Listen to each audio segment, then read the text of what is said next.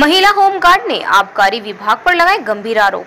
बिना किसी आदेश के घर में घुसकर तलाशी लेने का लगाया आरोप। महिला होमगार्ड गीता सिंह ने कहा, तलाशी के दौरान सत्तर हज़ार रूपए नगद, अस्सी हज़ार रूपए कीमती के सोने की जंजीर ले गए।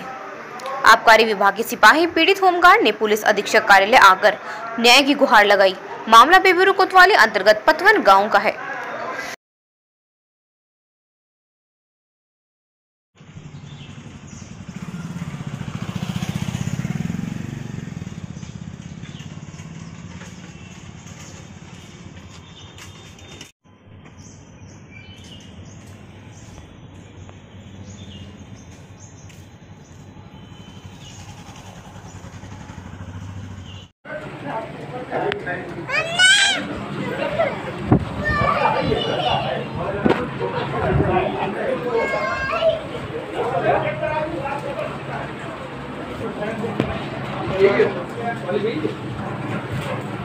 बिल्ली बक कर दे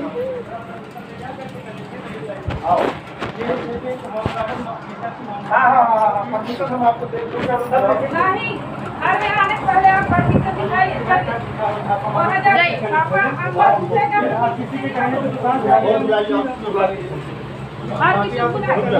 कोई दिक्कत नहीं और पहले आप लोग बाहर जाइए। इसलिए जो आया है घर के सदस्य हो आप फैमिली मेंबर हैं ज़्यादा काम कराओगे सब लोग देख रहे हैं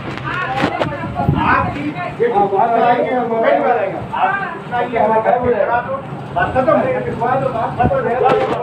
है।